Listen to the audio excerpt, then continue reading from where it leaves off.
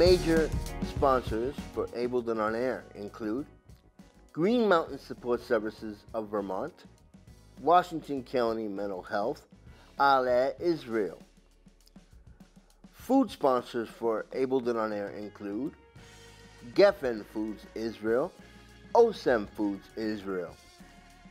Major media sponsors for Abled and On Air include Parkchester Times, Muslim Community Report, www.thisisthebronx.info, Associated Press Media Editors, U.S. Press Corps, Domestic and International, Anchor FM, and Spotify. Hello and welcome to this edition of Abled and On Air, the one and only program that for the past eight or nine seasons has been focusing in Vermont and beyond, has been focusing on the needs, concerns, and achievements of the differently abled. We would like to thank our sponsors, Washington County Mental Health, Green Mountain Support Services, Parkchester Times, and many others, including uh, including the Muslim Community Report, as well as our new sponsor within the Parkchester Times, the New York Parrot. Um, we would like to welcome Sheikh Musa Drammeh, uh, editor in chief of the New York Parrot, as well as um, media extraordinaire and journalist uh, um, to Abled and on Air. Thank you very much for joining us on this edition of Abled and on Air. Um, uh, can you uh, can, can you explain a little bit more about the New York Parrot and your journalism? Thank you, my friend, my brother, my colleague, Larry. Mm-hmm. Um, I greet you and I greet your wife and I greet all the members of your, you know, noble media network. You and I have been on the same side of history for so long, and you know we're gonna continue to do what we have been doing, which is uplifting people, friends and foes, those who are near and those who are far. So I'll begin by saluting your leadership in converting a lemon into lemonade. Um, you know, a lot of times when people have, you know, some type of physical disability or mental, then they get rendered um, at the back, um, you know, backside of the seating arrangement. And unlike you, you said no. We have to empower ourselves and we have to empower those that need to be empowered, those who are physically different. So I salute you for that, and whatever that I can do, you know, to support your journey, you can count me on. Now, in terms of myself, so I am the founder of Muslim Media Corporation, based in New York City. Muslim Media Corporation today runs or publishes three newspapers, uh, namely Parkchester Times, which serves primarily the residents of Parkchester area. And some of you uh, should know that Parkchester has over 70,000 residents. It's a town by itself.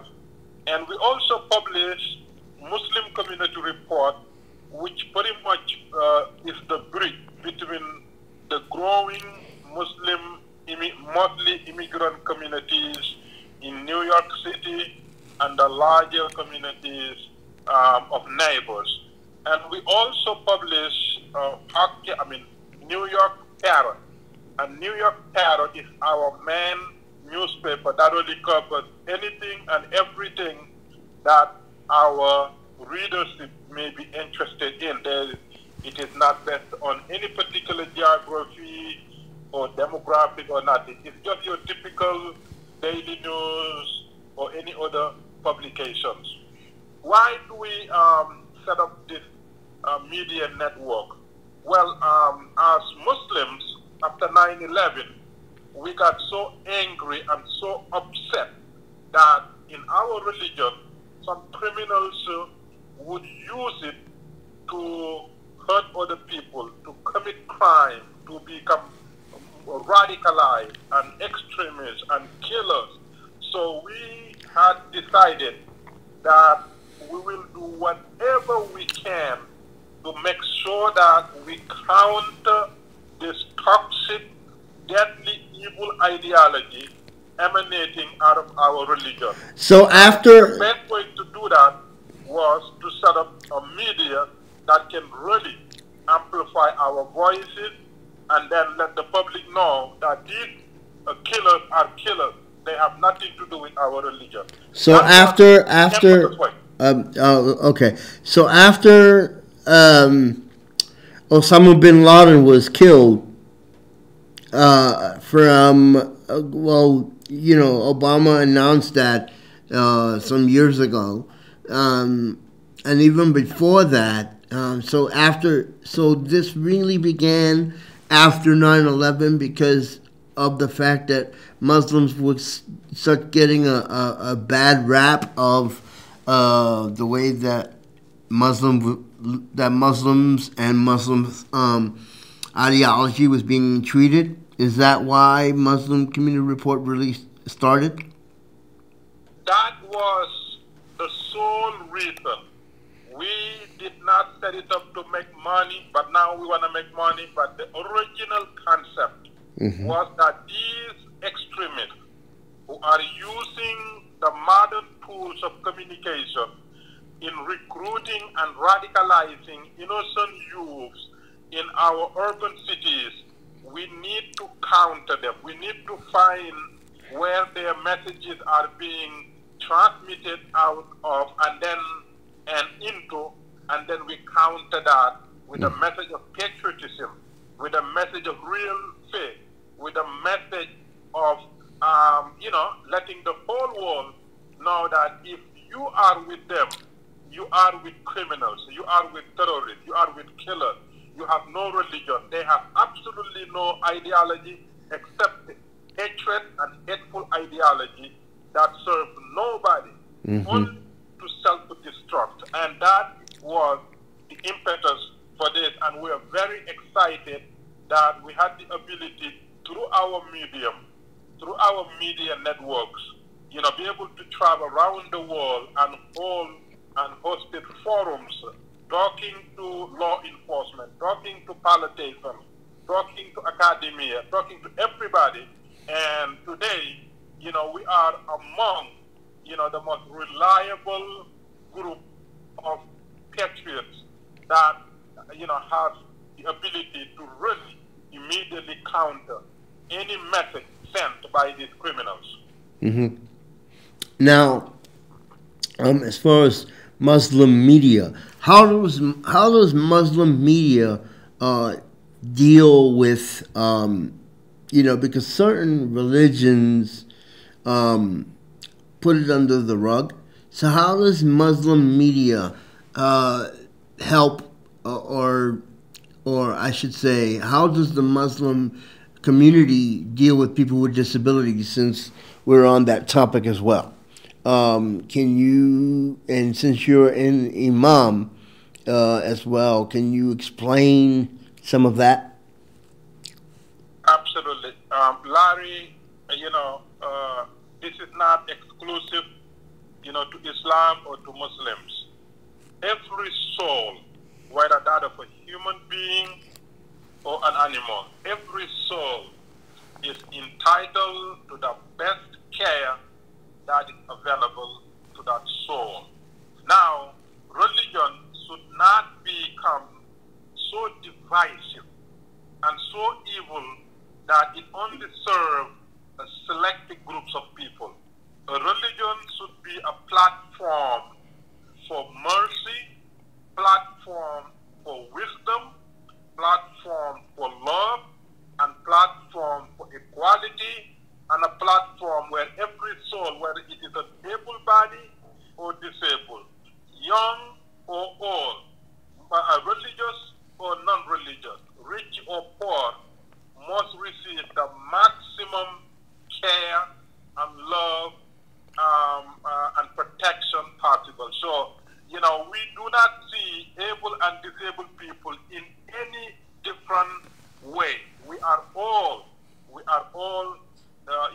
creation of God, and we're all entitled, you know, to be regarded as, uh, you know, a special creature. Mm-hmm. So Islam, you know, you will never ever find a real Muslim that would discriminate a person because that person has physical disability. That will never be the case. Now, you can have Muslims who are Muslims by name and do all crazy things, just like those who follow Bin Laden.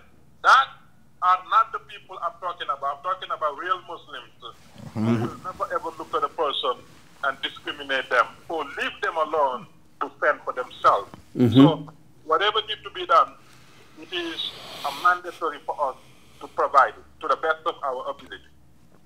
Okay, now let's get to the New York Parrot because I have a camera behind me here. And notice on the bottom of, let's talk about coronavirus for a minute because that's on everybody's mind.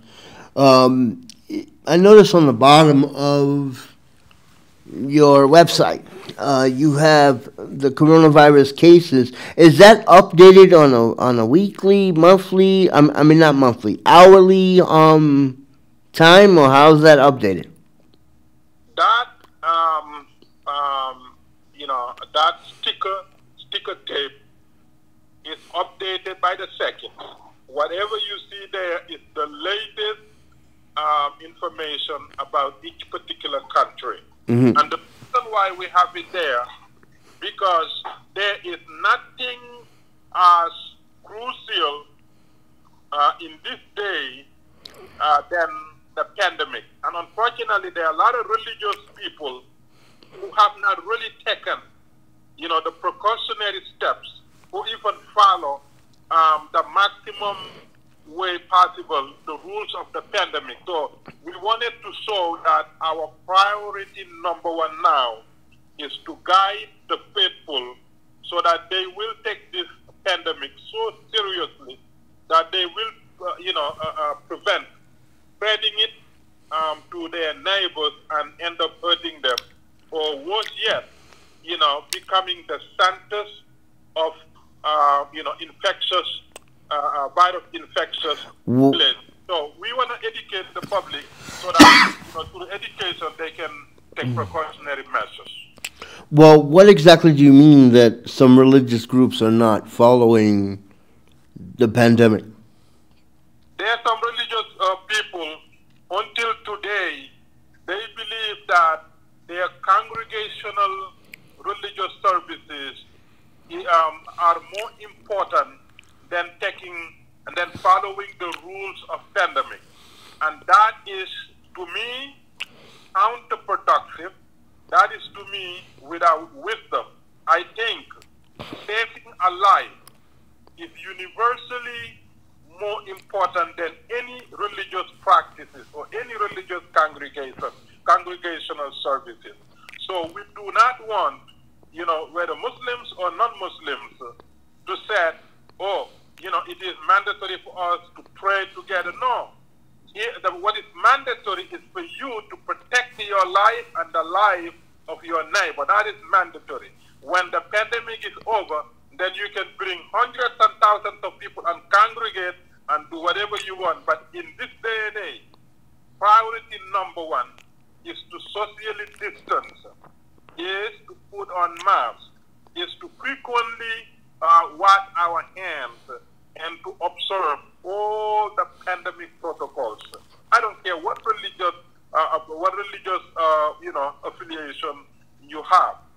Priority number one is public safety, hmm. our own safety and the safety of our neighbors. And any religious congregational gathering must be must be limited so that we will not cause harm to ourselves our congregants, and our neighbors. Okay. Um,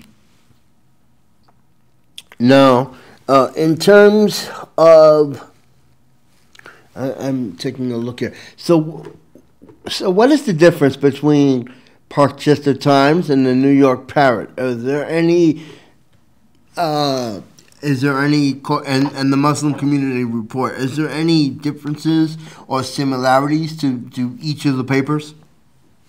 Absolutely. Parkchester Times is a Parkchester community based newspaper. The primary focus of Parkchester Times is to uh, is to provide services um, relevant and pertaining to Parkchester and beneficial primarily to the residents of Parkchester and the Parkchester vicinity. So our main concentration was to be a, is to be a conduit for Parkchester residents and entrepreneurs and the larger community. So our main, main, main target is Parkchester.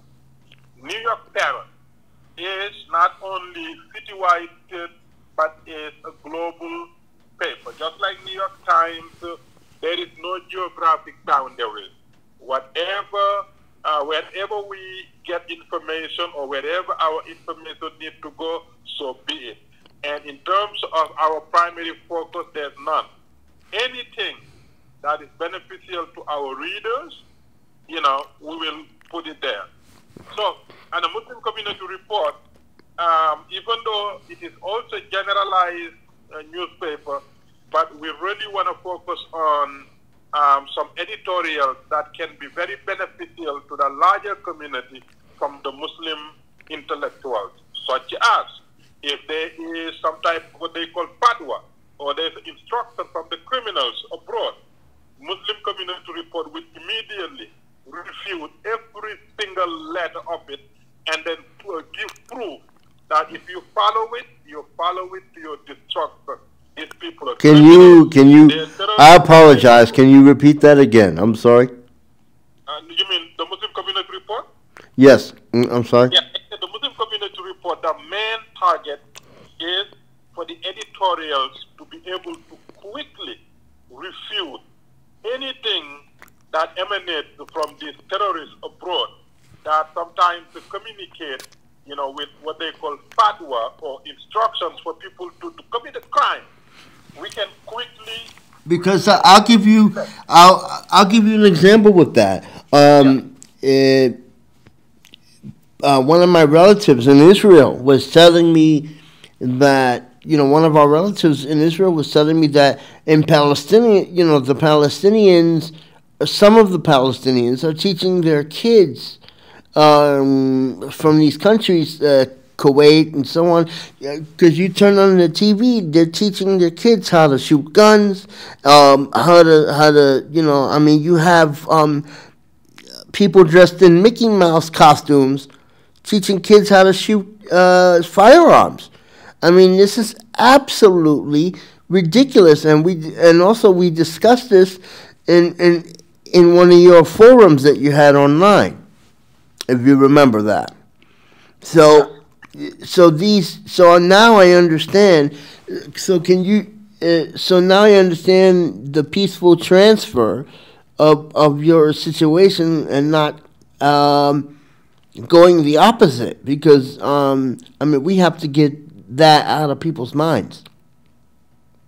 Larry, you and I um, live in a nation that has the Second Amendment.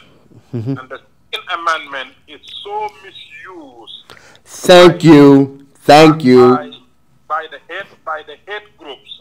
And mm-hmm. because of that, they think the entitlement to the Constitution to uh, own um, guns.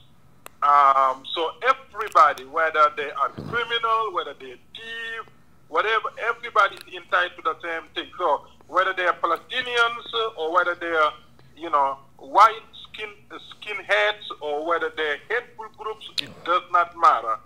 So hate is hate. Mm. And our goal here with the Muslim Community Report is to always fight hate with love and through education. Because a lot of times, even the hateful people, they're ignorant. They don't know what they're doing. They're recruited. They're in echo chambers. And somebody telling them, oh, this is about Jews and Catholics and Arabs and the Europeans, and then that's it. And nobody, and nobody is really following. I mean, we can talk about, about this for a minute. Recently, last month was Martin Luther King's birthday, and also recently, um, was the anniversary of the death of uh, Coretta Scott King. Um, nobody really follows um, people are starting to forget what Martin Luther King stood for. You know, um, with all this these hate groups. I mean, yes, you have Black Lives Matter. Um, I mean, the thing with George Floyd was uh, horrible. You know, um, we just need to be in, in, a more peaceful transfer, and hopefully, um, this new administration can fix a lot of the things.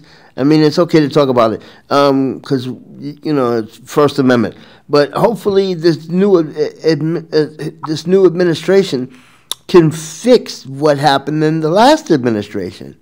I mean, the past four years has been full of hate, has been uh, just absolutely pandemonium, just ab- absolute garbage. Uh, uh, uh, do you want to talk about that being a journalist um, and how maybe we can fix it?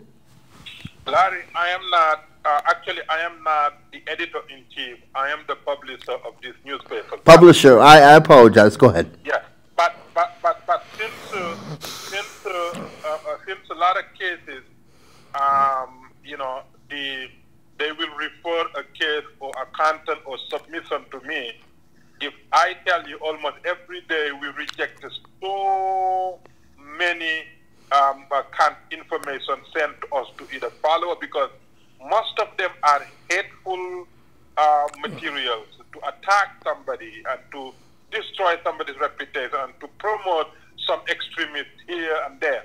We said no and no and no. If you look at what happened uh, in the last three, four years, you know, you watch some media outlets, all they do, all they have been doing is promoting divisiveness, promoting hate, promoting victimhood, promoting all kinds of, you know, uh, uh, uh, uh stuff that only serve, you know, to, to, to, to, to, to, to culminate into January 6th. Because these, uh, uh, you know, fools who stormed the capital. Some of them. Mm, yeah, let's talk about that. Uh-huh. They were acting on a patriotic mission. They were doing what the country needs, and they were doing the good thing. They were the second framers, but yet most of them, if not all, got uh, bad information instilled in them by this media. So I wholeheartedly believe that even though we have the freedom of the press, freedom of expression, but we should also be held uh, accountable and responsible for what we said and what we published. Mm-hmm. And certain networks need to be sued for lying and continue to lie that cost life. Because January 6th, six, seven, six or seven people died. One of them was a police officer. Yes. Somebody need to be held accountable for the life of a police officer that was unjustly taken.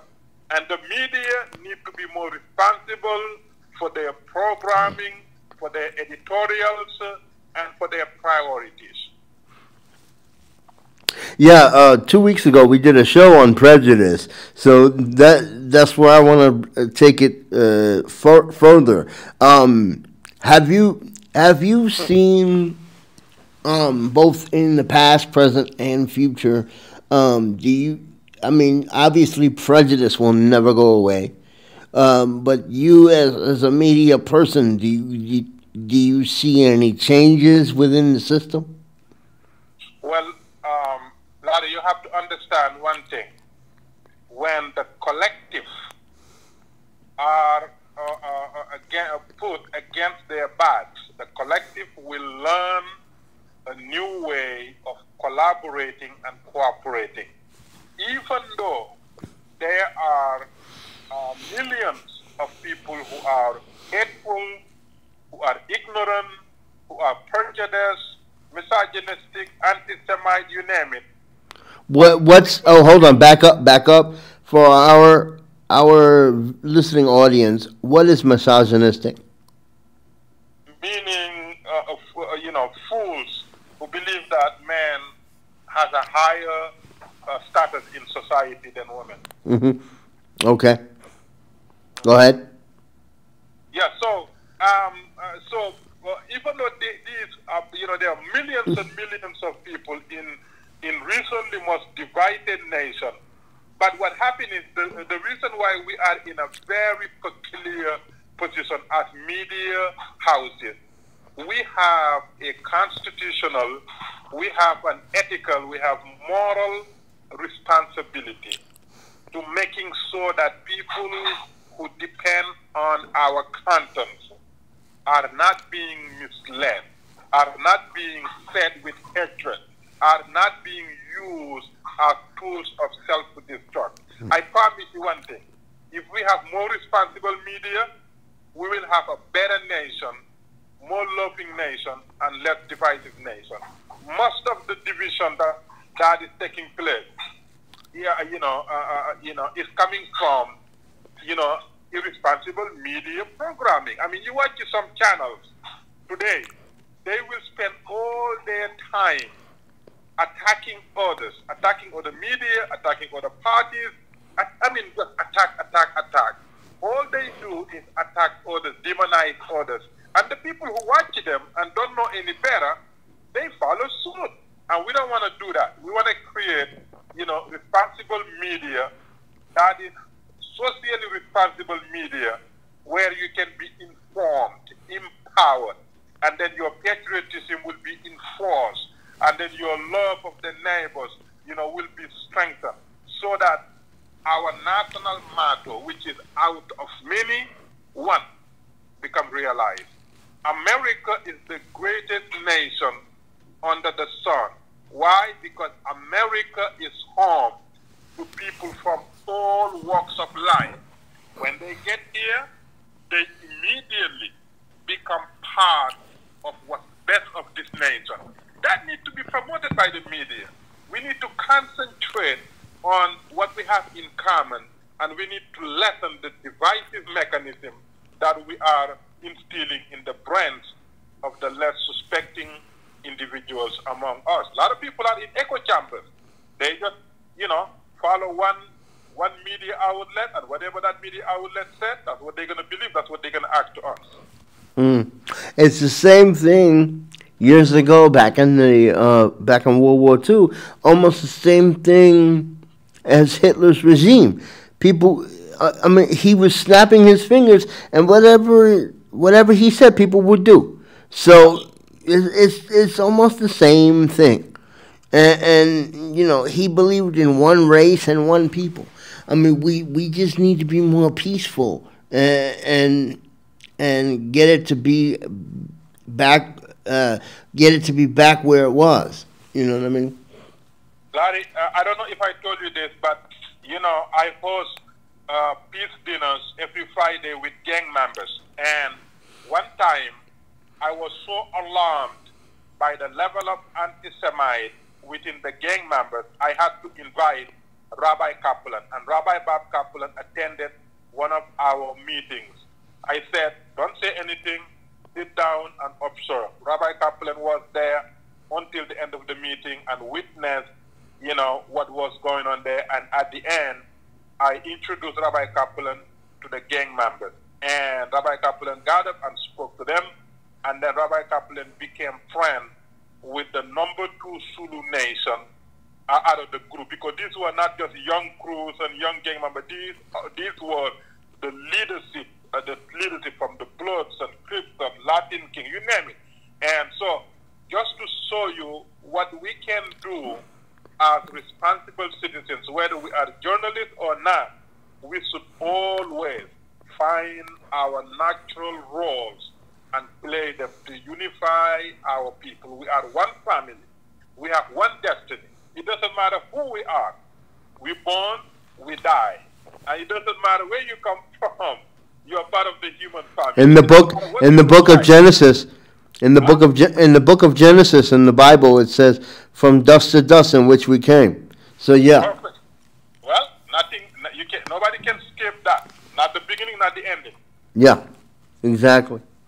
Well, um, I would like to thank you for joining me on um, this edition of Abled and on Air. Uh, it's been a, a, an extreme pleasure to talk um, to the publisher of uh, the Muslim Community Report, Parkchester Times, as well as the New York Parrot. And and uh, can you give information if people want to submit uh, if people want to submit uh, uh, articles or or or anything of that nature, where do they need to turn? What's the information that you can give?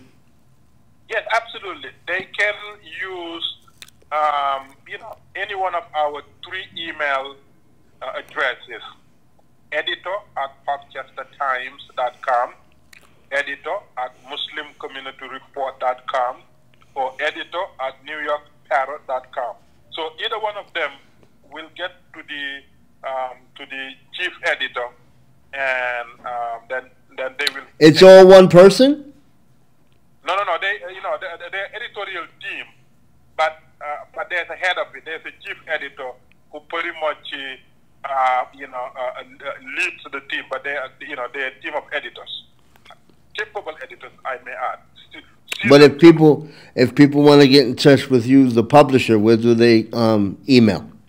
Yeah, they can uh, they can um, they can use one of those emails and then you know put reference to that. They need to um, you know uh, uh, you know uh, they need to connect with me and then they will forward it the email. Usually, you know, uh, uh, I don't read those emails unless it is pretending to me, and they will forward it to my personal email. So you can just use those emails and indicate that you want you want to connect with me, and they will forward it what is relevant to me.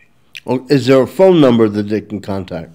Yeah, the phone number is 718 822 5555. 718 822 5555. 24 hours, 7 days a week. Okay. Uh, we would like to thank Sheikh Musa Drammeh for joining us um, on this edition of Abled and On Air. If you would like more information, please contact uh, 718 822 5555. That number again is 718 uh, 822 5555. And it's been an extreme pleasure to talk to him today. Uh, Arlene Seiler is not here today. Uh, we would like to thank our sponsors, the Muslim Media Corporation, um, Parkchester Times, Muslim Community Report, and New York Parrot, as well as Washington County Mental Health and Green Mountain Support Services, as, and many others. Uh, this puts an end to this edition of Abled and on Air. I'm Lauren Seiler. See you next time.